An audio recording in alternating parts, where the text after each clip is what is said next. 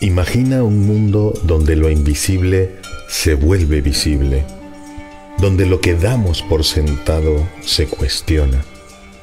Hoy nos sumergiremos en un viaje intrigante, desafiando una idea ampliamente aceptada, que el ateísmo es la postura lógica frente a la ausencia de evidencia de Dios. Pero, ¿y si te dijera que para ser ateo, en realidad se necesita tener una gran dosis de fe? Y sí, lo has oído muy bien.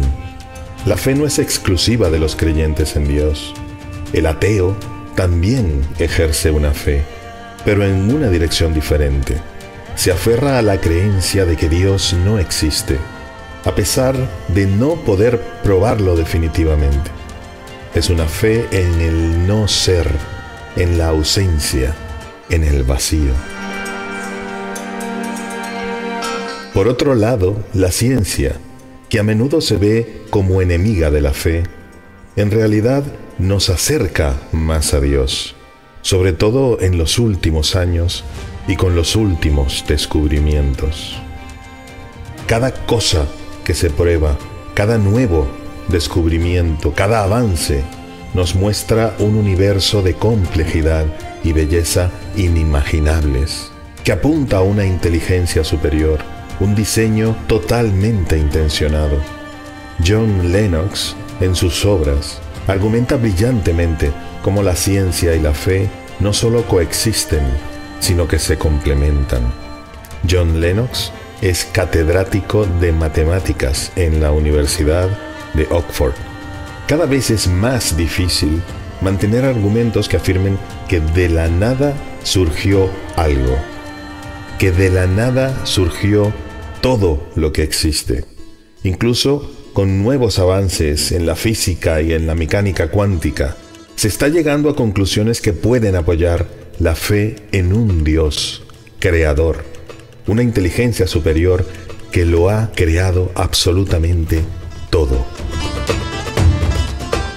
De hecho, si nos apoyamos en la fe, el catecismo de la Iglesia Católica nos enseña que la fe es una respuesta a Dios que se revela y se da al hombre, ofreciendo una comprensión más profunda de nuestra existencia. Aquí encontramos una fe basada en la evidencia de la revelación, en la historia de un Dios que interactúa con su creación. No la deja sola, interactúa constantemente con ella, o sea, con nosotros. Veamos algunos ejemplos concretos que ilustran cómo la ciencia y la fe pueden ir de la mano desafiando la noción de que el ateísmo es una postura puramente racional y basada en la evidencia. Tomemos por ejemplo el milagro central del cristianismo, que es la resurrección de Jesús.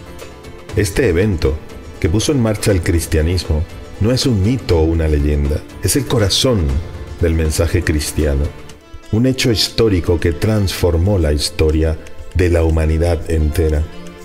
Francis Collins, director del proyecto del genoma humano y además cristiano, argumenta que los milagros, aunque no cotidianos, son posibles y deben ser abordados con un escepticismo saludable.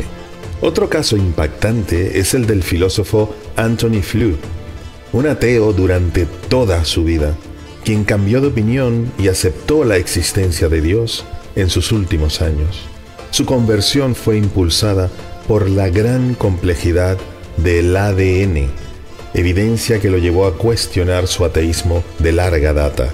Una palabra que tiene millones de caracteres, de letras, no puede haber sido creada por el azar, y de allí su conversión. La ciencia moderna a menudo, percibida como contraria a los milagros, en realidad no descarta su posibilidad. La objeción de David Hume a los milagros, que son imposibles debido a las leyes de la naturaleza, ha sido refutada por numerosos científicos eminentes. William Phillips, ganador del Premio Nobel de Física, y John Polkinghorne, físico cuántico y miembro de la Royal Society, son solo algunos ejemplos de científicos que a pesar de su profundo conocimiento científico, reconocen la posibilidad de lo sobrenatural.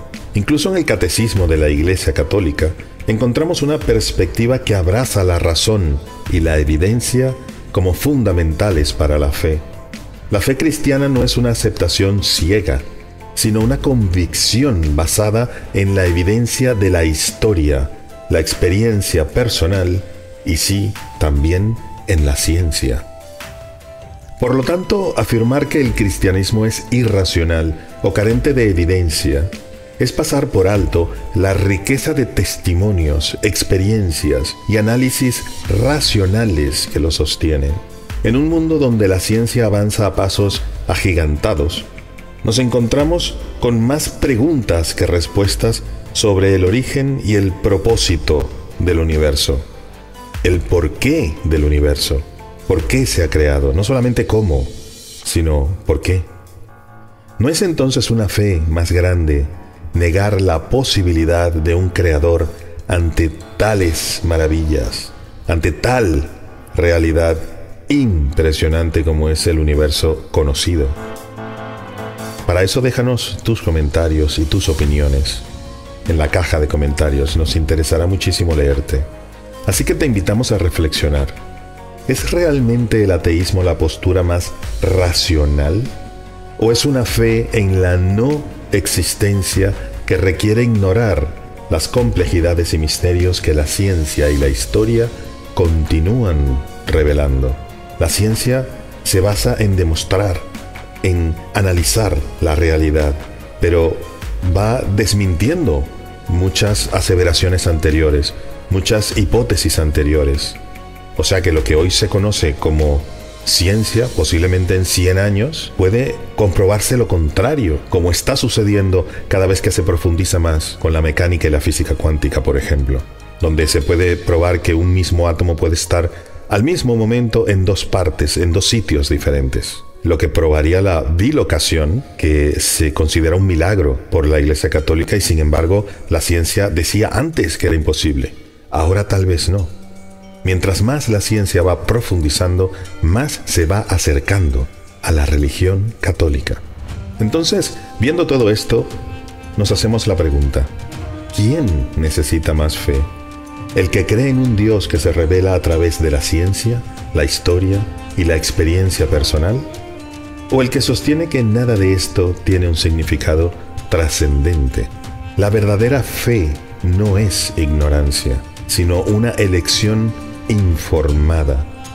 Es hora de mirar más allá de los prejuicios y ver dónde nos lleva realmente cada uno de estos hechos.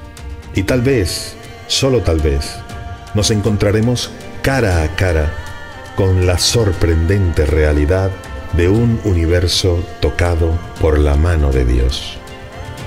No dejes de comentar en la caja de comentarios tu opinión, que nos va a interesar mucho leerla. Muchas gracias.